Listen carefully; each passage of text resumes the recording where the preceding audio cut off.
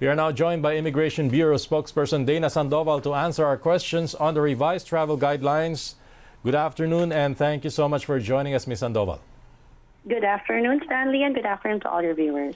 All right, for the record, uh, what are the departure guidelines now, especially the particular documents that were added to the requirements of traveling Filipinos?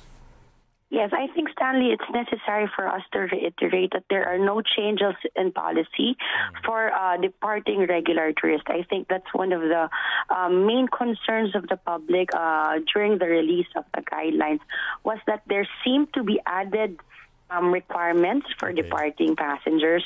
But in fact, um, we wish to clarify, and I think this has also been clarified by the Secretary of Justice, that there is um, no added requirements for uh, regular tourists. So this is this this um, is around maybe 95 or more percent of departing Filipinos. The guidelines is merely um, a document that compiles all the requirements for all government agencies for departing Filipinos Filipinos, so it's easier for Filipinos to see what um, they need if they need to get out of the need to, to go out of the country.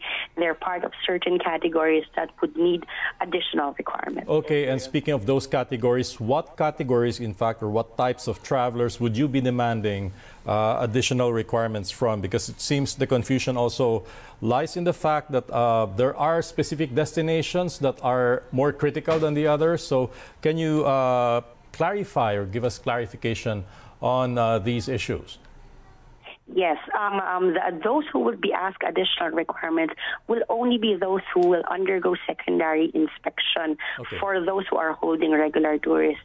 So that's just around 1%, more than 1% of the traveling public. And those who have red flags are considered to have red flags would mean that they are the ones whose documents and purpose of travel do not match.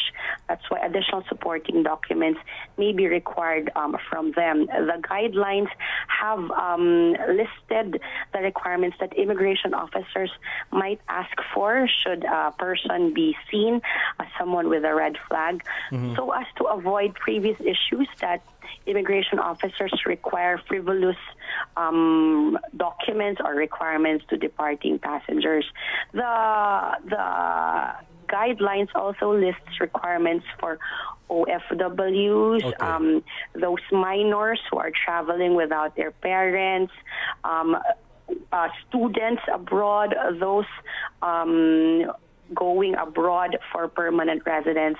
So they all um, consolidated these requirements in one document. Okay, now having said all of that, does this mean any traveler should prepare all of these required documents just in case? Because uh, it's pretty broad, and then the responsibility also of determining who to undergo secondary screening will be the immigration official. So if you're traveling, uh, going out of the country, you should have all these documents with you regardless of your status. Is that what you're saying? Not necessarily. Not necessarily, Stanley.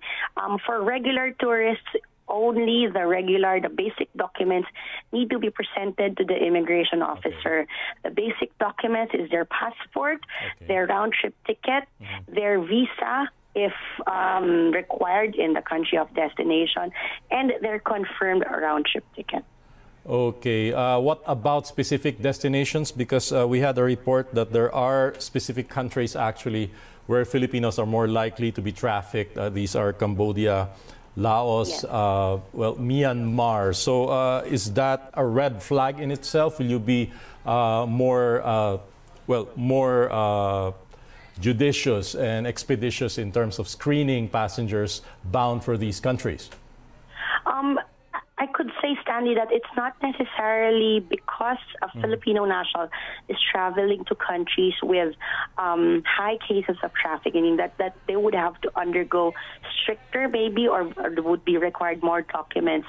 Immigration officers really look at patterns, and um, if our immigration officer detect a pattern, say, for example, that the same document has been presented by previous victims or the same story has been um, um, mm-hmm. been given by uh, by previous victims, then it is when our immigration officers may ask additional questions or may require supporting documents to prove the purpose of travel. But generally speak, speaking, for 95, 96, 7 percent of okay. of departing Filipinos, there is no need to add or to bring additional documents for their travel.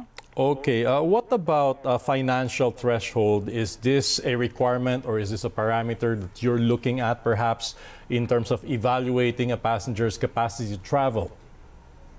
Well, to be honest, it's part of the regular questions of our immigration officers as okay. to what is their um, background here in the Philippines, more of to see their identities here.